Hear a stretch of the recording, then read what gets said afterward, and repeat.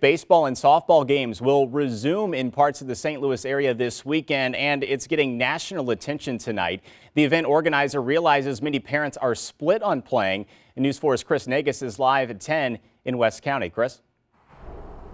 Corey, that's right. You know what? I'll tell you what. Uh, what a difference a county makes. Here in St. Louis County, these ball fields behind me, down in the Chesterfield Valley, the gates are closed. They're hoping to be out here to play ball by June at the earliest. But you go a few miles just to the west of here, and starting tomorrow morning, it's play ball.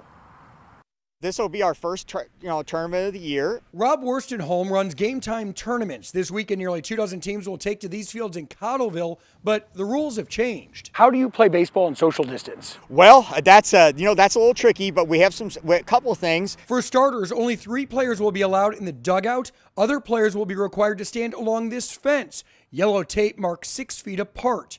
The umpire will stand behind the pitcher's mound versus home plate. We're also going to space out the parents, you know, to make sure that we don't have anybody within six feet of, uh, of anybody on the parent side either. I'm noticing no bleachers out here. Oh, we took down all the bleachers. It's going to feel normal for the first time in a couple months for these kids. Rob Floyd's son will be on the field. He's also a coach that came by to check field conditions. He says some parents chose not to participate, and he's okay with that. We've been respectful of the the families that aren't ready to play. Because I we understand. Again we're all fearful. Even the ones that are playing we're, we're fearful. So we're 100% respect for the ones that aren't playing. The decision to move forward was highlighted by time.com the headline somebody has to be first.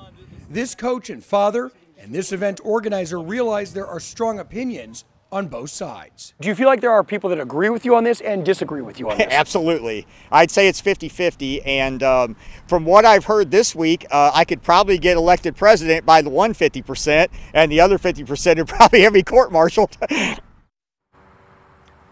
Yeah, no question. A lot of people talking about this story online. Now, the event organizer tells me there are 60 teams that opted not to play this weekend, but tomorrow there will be nearly two dozen teams out there on the fields in St. Charles County, another approximate two dozen down in Jefferson County. So, what do you think about this? Would you let your kid participate?